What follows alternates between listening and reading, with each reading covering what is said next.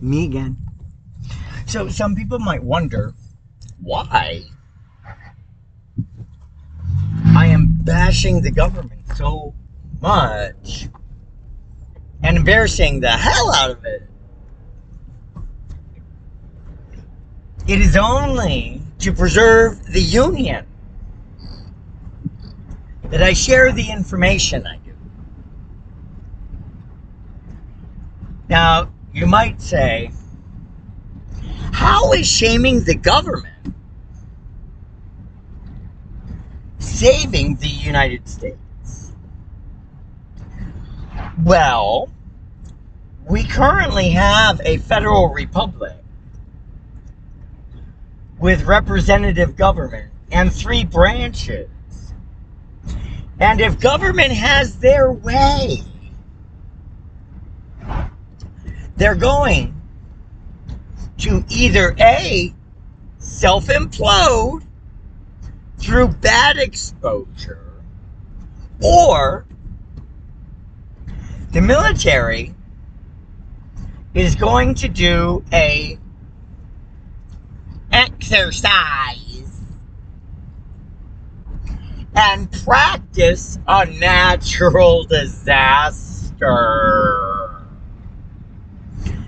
And as soon as they turn over the reins, for a brief period of time, the military will say, You're done. It's our country now. And the representative government wouldn't be able to do anything because they don't have an army to defend the people.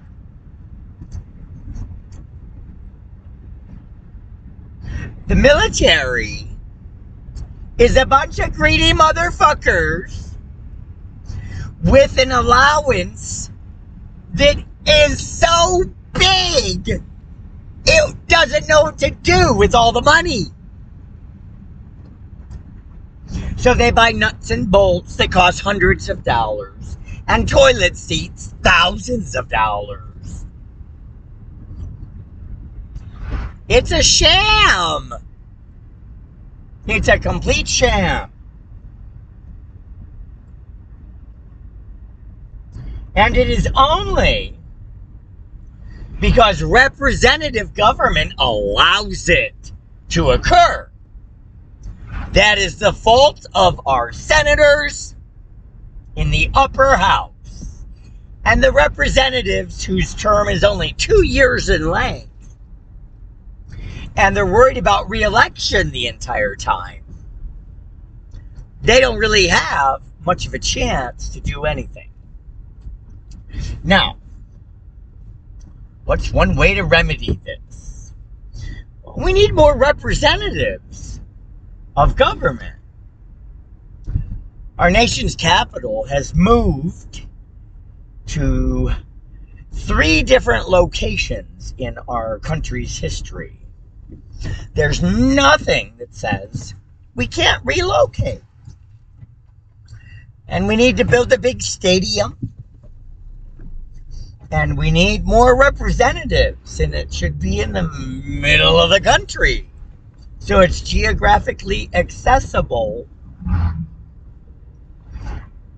and we should build a new capital that's really about freedom and about rights. But my ideas fall on deaf ears because I'm a targeted individual. And government forgets all about me because I'm tortured with their program. I don't count.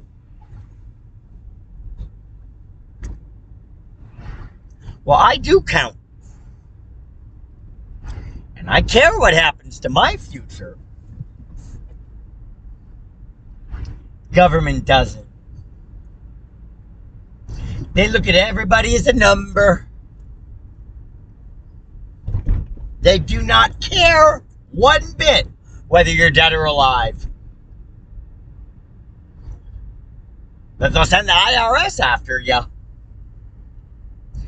When 95% of the budget that Congress spends comes from the top 5% of the nation's income brackets. The more you know, the more things need to change. Like your underwear, which I don't wear any. But if I did, I would change it more often than government changes things. They keep things the same. Like our economy, which is based off of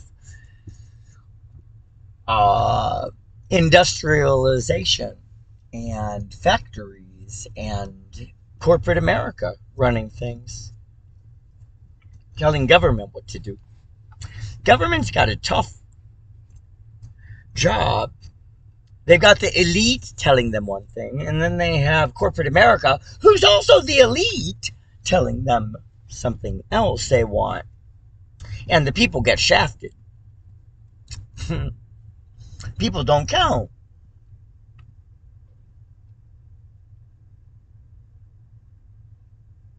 What a shame.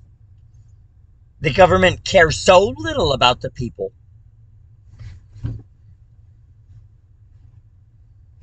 Do better.